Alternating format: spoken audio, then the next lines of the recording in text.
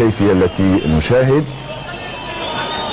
والهدف الثاني سجله أشيو في اللحظات الأخيرة من المباراة وهو الذي سمح لفريق اتحاد العاصمة من الاحتفاظ بريادة الترتيب بفارق خمس نقاط على أربع نقاط أو خمس نقاط على فريق شبيبة القبائل المتعادل في وهران أمام مولودية وهران بنتيجة آه، صفر مقابل صفر.